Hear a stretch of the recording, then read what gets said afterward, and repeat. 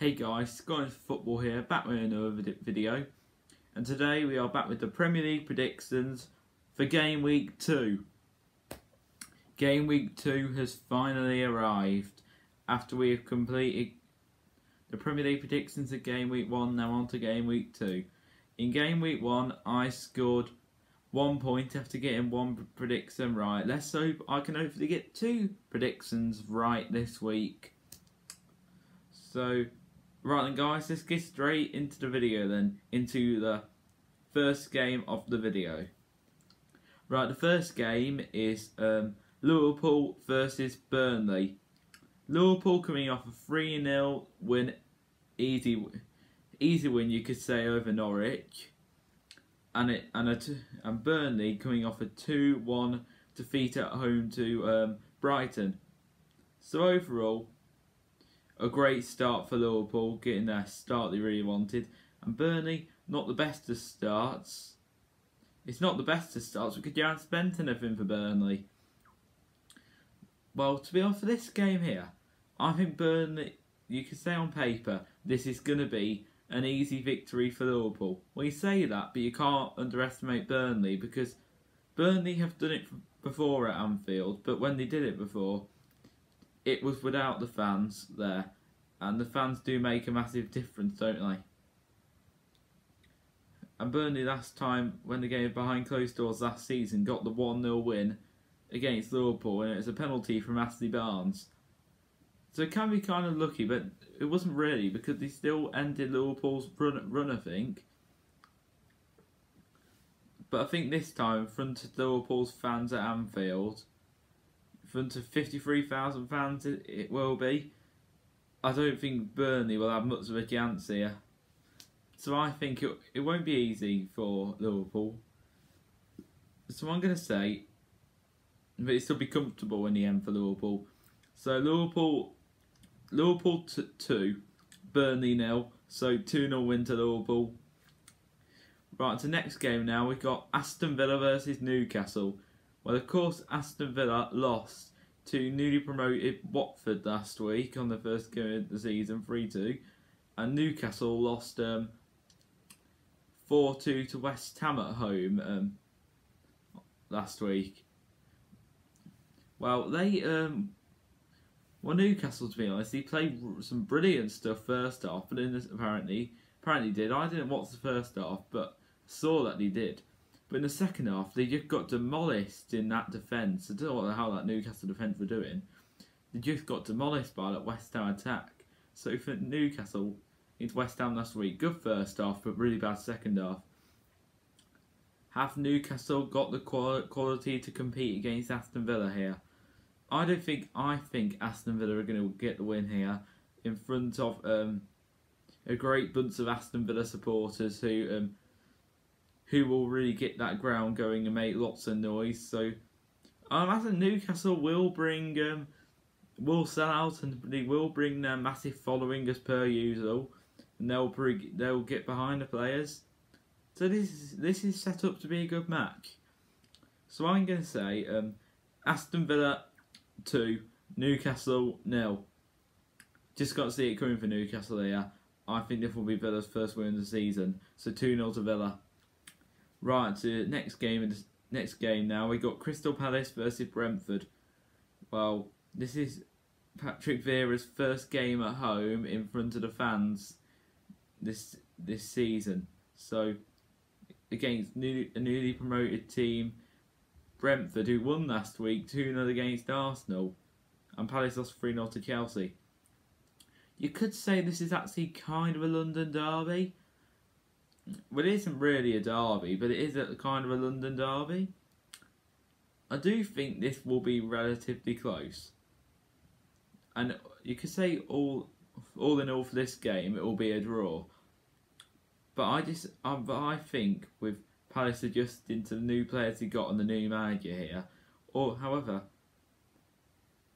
the fact, but the next game being at home against a newly promoted team. No offense to Brentford here, I'm not taking anything away from them after their performance against Arsenal, right?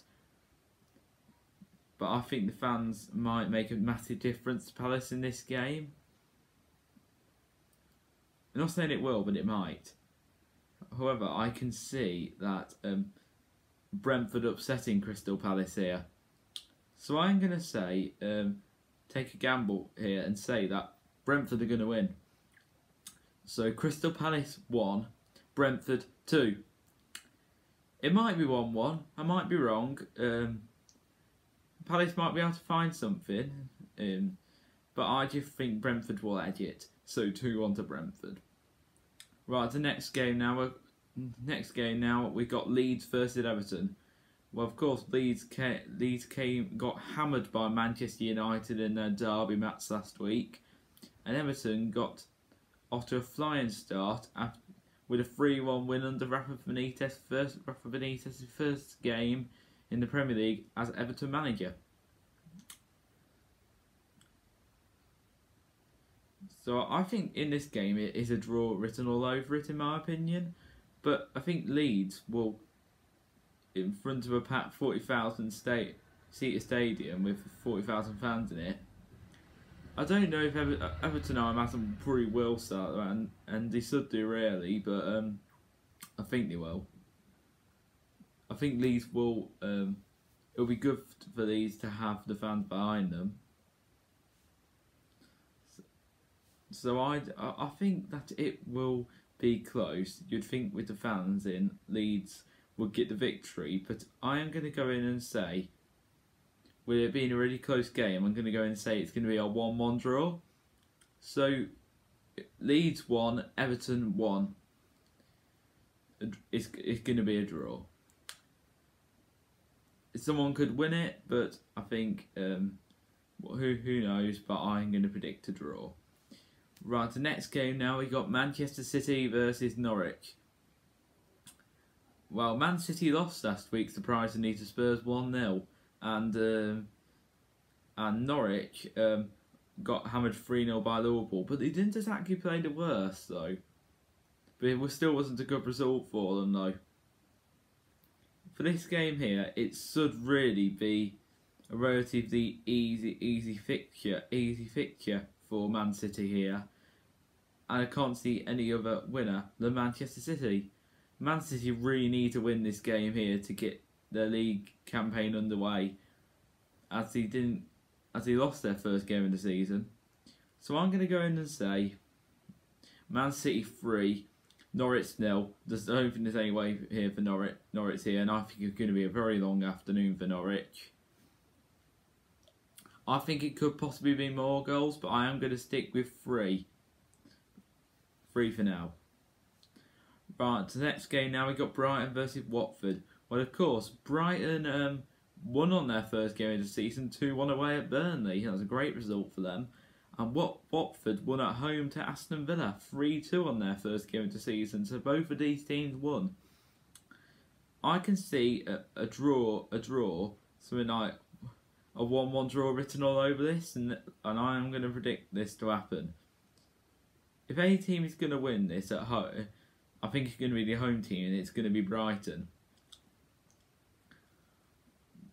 But I just can't see Watford losing this either. So if I don't think that, I'll go in with a with a draw then. So Brighton one, Watford one. Right, to next game now. We got Southampton versus Manchester United. Will be this be quite an interesting one actually. Well, of course, Southampton lost 3 1 last week to um, Everton. However, the good sign for them, new signing Adam Armstrong scored in his debut after recently selling up Danny Ings to Aston Villa after letting him go. On Man United's side, side they got they won 5 1 against Leeds last night, uh, Leeds last week. They wiped the floor with them, to be honest and it was a really comfortable, comfortable game for them. You would say in the end. I, I think for this game, you'd say it will be another quite easy win for Manchester United here. You can't write off Southampton, can you? Like I, was, like I said about going into the game over Leeds, when even though Man United won 5 1 in the end. Who expected Man United to win 5 1 though? This So, so for this game, with all the good we hopefully we see Sancho coming on a little bit more, playing a little bit more. He didn't really play that much on Saturday, really. I think if um, Sancho would have been playing a whole game, I think Man United could have come away with more than five goals. I think Man United will come away with a relatively comfortable victory here. So I'm going to go in and say this here. Say say this here. Southampton nil, Manchester United two. So 2 0 win to Manchester United. I could possibly see another Bruno Fernandes double happening, maybe. Who knows? With uh, Paul Pogba, maybe Sancho getting involved. Who knows? Uh, everybody else could getting involved for Man United in that game.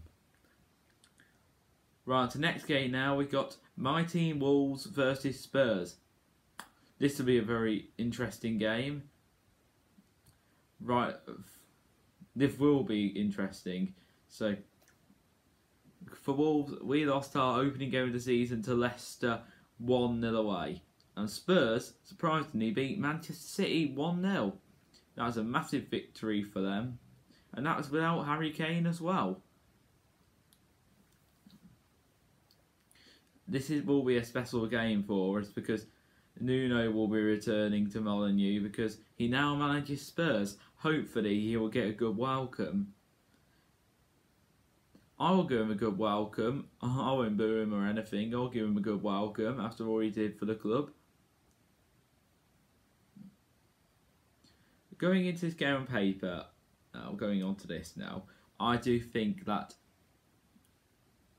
I do think that a draw is uh, really mathematically a sensible result to predict, really. I'd love, a, I'd love a win here, but I just can't see it. Um,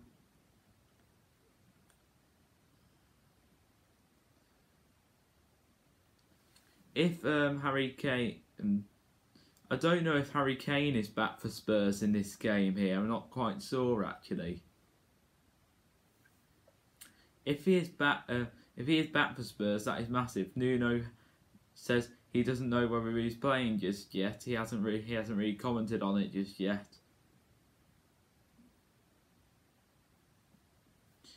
So for this game here, I think 1-1 is really the correct prediction here. So I can't see us winning. I'd love a win, but I just can't see it. I think 1-1's the right prediction. So my prediction here is Wolves 1, Spurs 1. If you can get all three, I would love all three. But a point will do me just to get some kind of points on the board. Right, um, on to the next game. Now we got Arsenal versus Chelsea. Well, of course, Arsenal got humiliated by the newly promoted Brentford 2 0 last time out.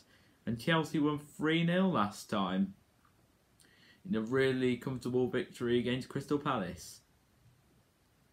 For this game, uh, going for Arsenal, really, they have got to get something out of it because after it, that that after Chelsea, they've got Manchester City after that. It's not the easiest schedule for Arsenal, with all, eh, in all fairness. All fairness, but they've got to do a, they've got to do a lot better. Like well, they have brought in some new signing, uh, signings today. Today, it come out today actually. Martin Martin Odegaard on uh, a permanent transfer from Real Madrid, and Aaron Ramsdale and Aaron Ramsdale from um, from Sheffield United. I don't know if these players will be involved for the for the game against Chelsea. I don't know if they're allowed to play or not. We'll soon see on the day. But overall for this game, I just can't see a way through for Arsenal here. And Chelsea might kill kill them off before half time. So I'm going to say Arsenal nil, Chelsea 3. We'll soon see what happens. Right, on to next game now. We got last game now. West Ham versus Leicester. I can't predict this really. If any team's going to win, I think it'll be the own team. Just and I, have got to adjust this by the opening day as well. Because Leicester got one goal on the opening day, West Ham got four. uh, however, however, they conceded. Um, West Ham conceded two, and Leicester conceded none. But overall, I do think that um, a two a two two draw would be realistic. But uh, possibly three three might be. Be great to see a three three draw for once. But overall, I think it'll be a two two draw. So West Ham two, Leicester two. So right then, guys, that will be the end of the Premier League predictions for game week two now. So if you did enjoy this video, do give it a like, do subscribe to the channel, and also turn on your notifications every time I make a video. Enjoy enjoy the football this weekend for another weekend of football for the Premier League and the rest of the other EFL leagues as well. Have a good one, guys. See you later. Bye, everyone.